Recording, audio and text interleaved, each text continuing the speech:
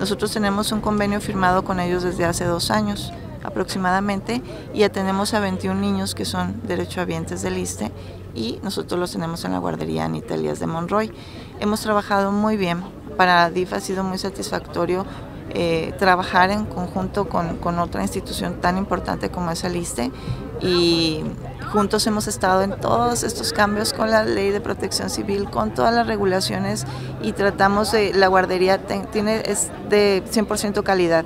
Entonces están muy satisfechos ellos con el servicio y ahora se analiza la posibilidad de crecer y atender a 70 niños más en, en la Anitelias de Monroy. Estamos muy interesados como DIF en poder seguir con este convenio con, con el ICE. Esto implica para nosotros crecer.